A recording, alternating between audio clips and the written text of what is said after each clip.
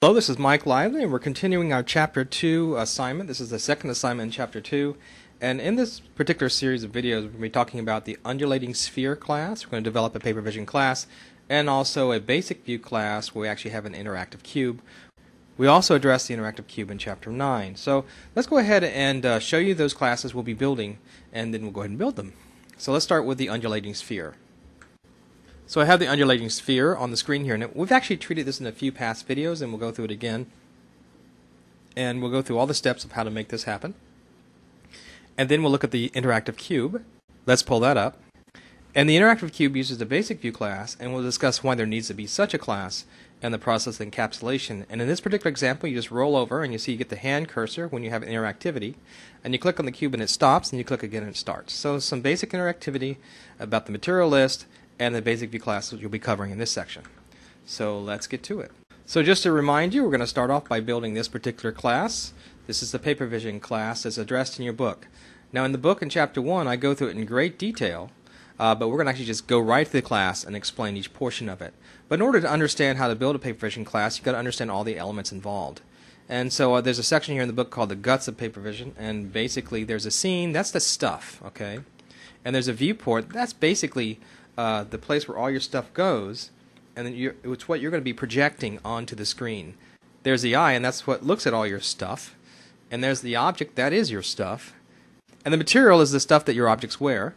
And finally, once you get all that stuff together, you've got to, in a sense, have an artist or some way to, to, in a sense, pull it all together and render it to the stage. And we call that the renderer. So uh, there's a lot of stuff. you've got to look at this stuff. So you've got stuff. You've got to put clothes on it you got to put that stuff somewhere, and then you got to render that stuff to the screen, and then you have to make the, then you have to have a rendering device or an artist to pull all that stuff together. This will become quite apparent as we go through the class. So if you page through the chapter, I go through step by step on how to build this class and construct it from scratch. But we're going to go right to the class now in the code, and we're going to discuss how it works. So the name of this class is PaperVision Class Motion. You can actually get that from the download code, or just go to my Google Code on this particular series. I'll have it up for you to grab as well. And we have updated this in the sense we are using the newest version of PaperVision uh, for Flash Player 10. And here's the class right here. Just double click. We're actually in an ActionScript package.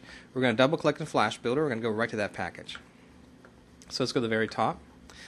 Now, a class itself consists of six parts, and the first part is the, the package, and that's just that keeps it all together in one place. And then we're going to have our import statements right here. And so we've talked about Flash imports. There's a lot of Papervision imports we're going to be talking about through the series in this book. And there's something new here I want you guys to take a look at. That's the SWF meta tag. Now, in Flash, you can do all this through the properties windows, or also in Flash Builder, you can do the same thing through its properties. But with an ActionScript package, you really need this SWF tag, and you can see the first two pieces in it gives you the width and the height. You can set the background color of your application and the frame rate. Right now, I have it set at 40. You know, Flash Builder typically runs at 24, but in this particular instance, you can set it to different frame rates. After that, you have the uh, class statement, and you need to start, in a sense, creating instance names of the different classes, different things that you knew. So now you'll begin to identify things that we talked about previously. You got to have a viewport, so you got to have a viewport class. You got to have a camera, you need a camera class. You got to have a scene, and you got to have that renderer. You see that? Just below that, you have your object, which is going to be a sphere in this case, and you have the clothes, or in a sense, the material that sphere is going to wear. So all those six items that we discussed previously are right here in the code, and you have classes that govern them, and you have to declare those classes, and you have to import those classes, and then you have to declare them in your program so you can use them. And so there you have it. Now just below that is the constructor function. So when your class is instantiated, it runs what's inside of the constructor function. So you have three methods here you're going to run. You're going to run the initiate PV3D. You're going to create objects, and you're going to start your renderer up. And that's your frame looper, and we can explain how that works in a moment. So the first thing we're going to do is we're going to initiate that object. Now what you can do is control rollover method. So let's control, and see how that highlights? You're holding down control in Flash Builder. Just click on that, takes you to that method. So that's the first method that runs. And what we're doing here is we're going to start bringing in all those components we just declared. So we're going to create a create our viewport, and we're going to make it true and false. What does that mean? So I don't know. So what I do is come here into Flash Builder, and I'm just going to put a little hit the space bar in a sense, or hit the parenthesis as if I'm trying to type it in, and all of a sudden all this code heading comes up and it shows me what's actually in that. So the first part you can see is the width, the height of the viewport, uh, is it going to auto the stage? Is it going to take the whole stage over, or I'm going to be able to set the, the viewport size? And then is it going to be interactive? And I'm going to want it to be interactive if I want to actually do some clicking on it. And we'll talk about that when we get to the cube example.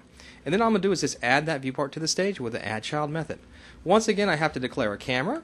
I have to declare a scene to put those objects into, so I need to be able to see it. I need to have my objects in the scene, and I need to declare my renderer. And one more thing is, right here are the stage uh, properties. And these are pretty transparent. If I want to align it to the top, I can set stage align to top.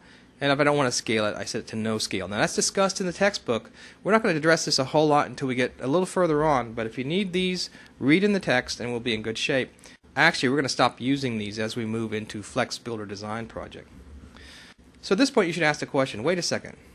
I see a viewport, I see a camera, I see a scene, but how do I tie all those together? Well, the way you're going to tie those together is through the renderer, and we'll get to that in a moment. So the next uh, method that you have is create objects. Let's click on that. And what you're going to do basically is create your sphere. So you've, so you've declared your sphere.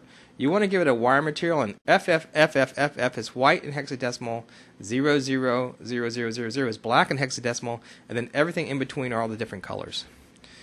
And then once you've got that wireframe material uh, created, you want to stick it into the sphere object, and then you're going to give that sphere a radius, and you're going to give it some segments. Okay? And then once you've done that, you're going to add it to the scene. But once again, once that's added to the scene, how does that get you know pulled together so that it all ties in? So let's go back to our last method. And our last method creates the animation loop. Let's click on that. And here we are right here, and all we're doing is creating an on enter frame event. And every time this on enter frame event fires, you run this animation loop. Now in the first part of this animation loop, all you're doing is using sines and cosines and stretches and scales to get your application in a sense to do what's happening on the screen. Alright? And we'll be talking about math a whole lot in this course. And you'll definitely understand what all this means and how to use it as we proceed in the book.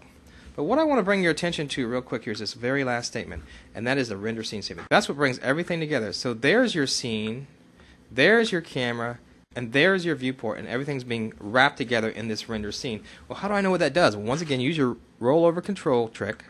That takes you right to the class, and you can see right here in this class, which is the basic render engine. Right in this class, right below, you're weaving these three things together. The scene, the camera, and the viewport. Look at that. And what you need to do as you begin working through PaperVision, as we work through PaperVision, we'll be rolling over and clicking on these different classes and going to them and explaining what they do and why they're there. So let's go back to our application. And so that's a real quick run through on uh, creating a PaperVision class. Make sure you read through the textbook. And next time we're going to talk about the basic view class, encapsulation, and interactivity. Hey, well, thanks for listening. This was Mike Lively, and I'll see you next time.